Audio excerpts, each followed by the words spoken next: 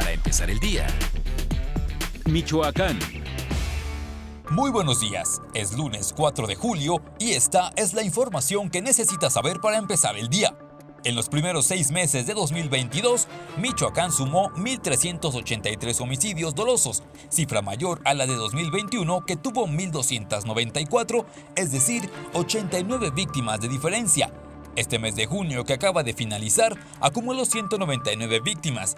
El mes en el que más homicidios se reportaron fue en marzo con 266 y el mes que menos violento fue fue mayo con 194.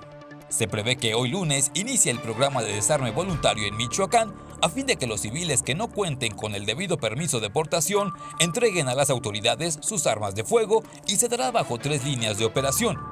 Campaña de canje de armas por electrodomésticos, supervisión en aeropuertos, terminales de autobuses y servicios de paqueterías, así como puestos de control de seguridad en puntos estratégicos.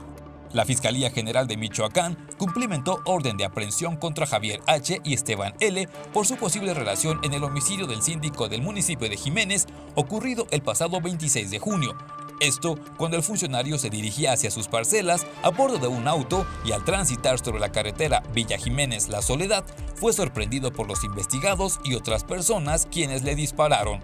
Hace algunas semanas se reportó la muerte masiva de peces blancos en la presa de Coincio. Los pescadores señalaron que se estaba desprestigiando la pesca y comercialización en la zona y alzaron la voz para desmentirlo. El motivo de la muerte de los peces se debió a la falta de conocimiento de algunos pescadores sobre el tipo de lanchas que se debe usar en la presa.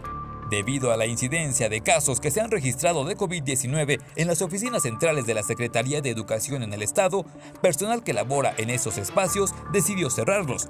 Piden que se saniticen los espacios oficiales debido a que han detectado al menos 19 casos y no quieren exponer ni a los trabajadores ni a los ciudadanos que acuden a realizar los diferentes trámites.